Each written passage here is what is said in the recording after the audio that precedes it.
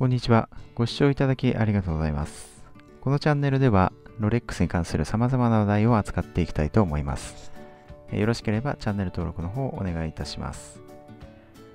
今回は先週正規店に行ってまいりましたんで、その正規店の雰囲気といろいろ感じたことについて、つらつらお話ししたいなと思います。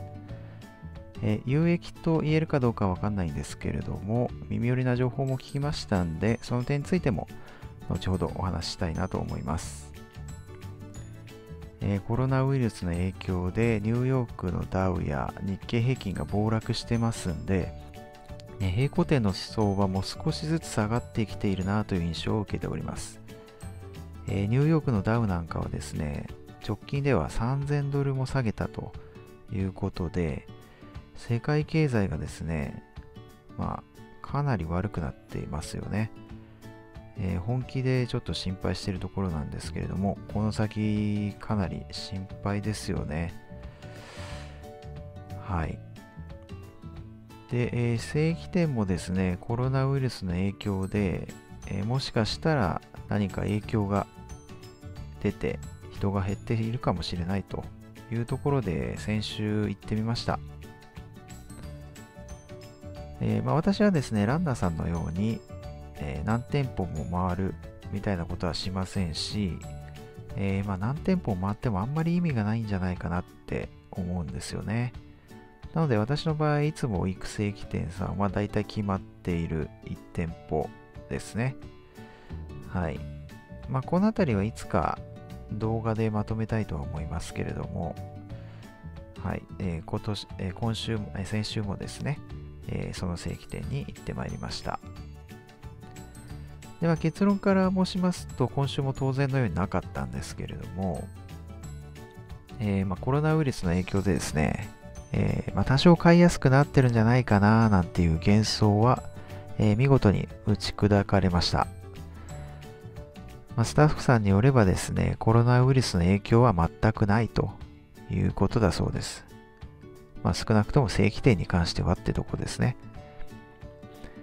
特に制限がかかっているプロフェッショナルモデルはですね、状況は全く変わってないということでした。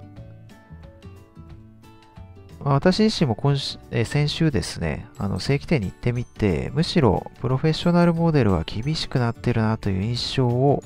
えーまあ先週はですね、受けましたね。まあヨーロッパでですね、コロナウイルスが大流行してますので、で、えー入国制限がかかったというニュースも、えー見ましたんで、もしかすると製造元のスイスのロレックスも何かしら今後影響を受けてくるかもしれませんよね。まあ、そうなるとむしろ、えー物が作られずに値段が上がってしまうんではないかとも考えられますけども、えーどうなんでしょうかね。そのスイスの状況も気になります。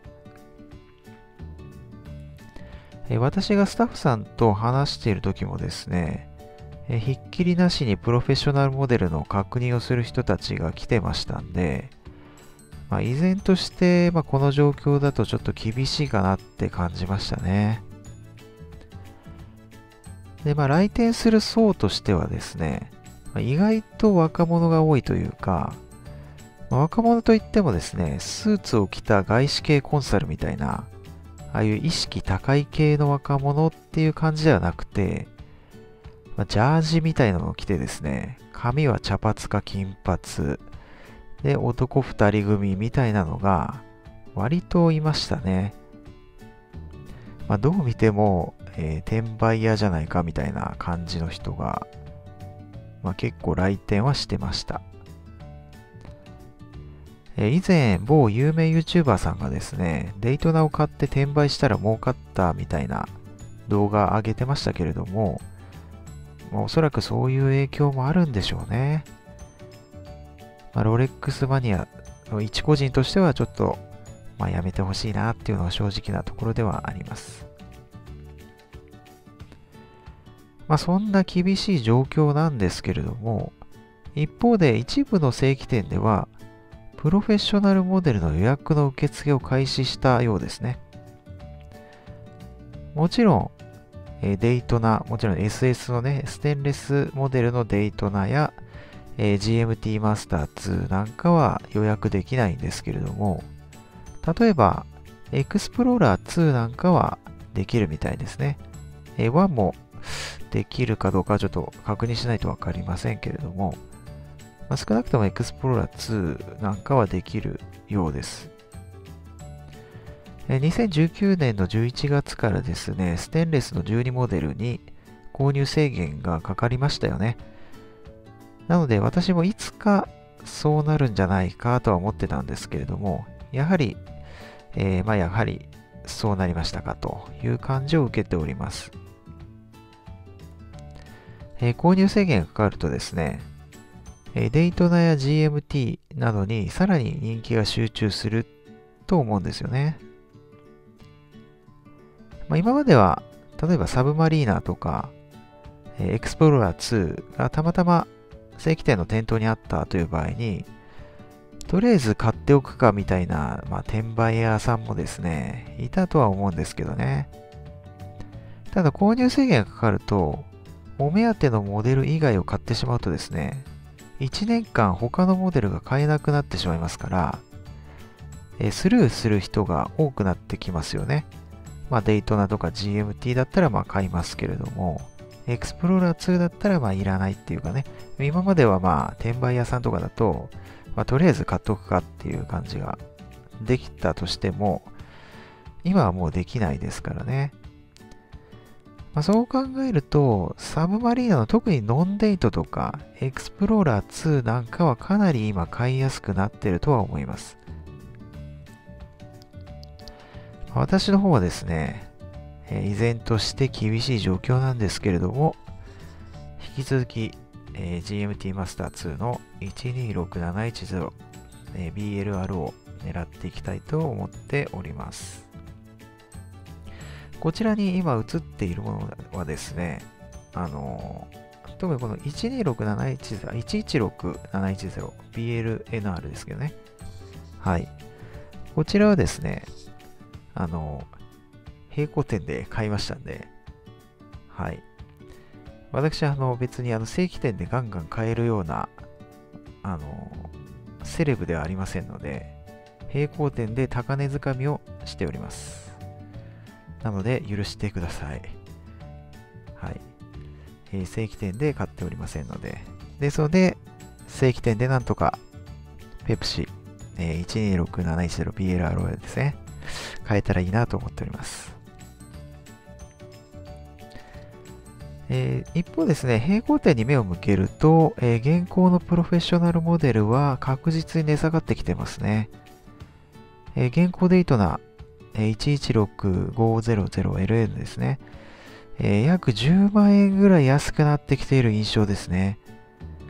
えー、白文字盤が、まあ、260万円台、黒文字盤が230万円台まで下がってきている印象です。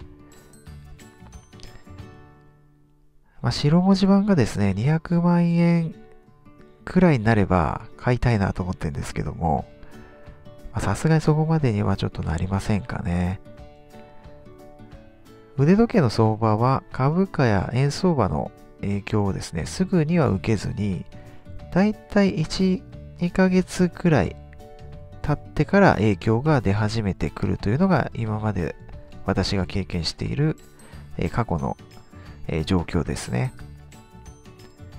まあ、今、ダウがですね、ナイアガラの滝みたいな曲線になってますんで、ちょっと平行点の価格がですね、2ヶ月後ぐらいにどうなるかっていうとこですよね。で、現行デートの方は今平行点で本気で狙っている状況です。はい。まあ、正規店で1個、例えばその、えー、GMT マスターもし変えたら、えー、デイトナーはもちろん買えないわけなんで、まあ、平行店で買うことももちろん検討はしてるので、今、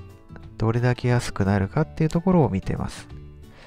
安くなったら近いうちに購入するかもしれませんので、その時はまたご報告したいと思います。え最後に、え、3月ですけれども、今、ま、3月といえば別れの季節ですよね。でこの時期の正規店ではですね、スタッフさんの移動がですね、まあ、あるみたいで、えー、顔なじみのスタッフさんが移動してしまったっていうことも、過去、えー、去年とか一昨年とかですね、ありました。で、別の正規店に移動されてて、あれ？みたいなこともたまにありますね。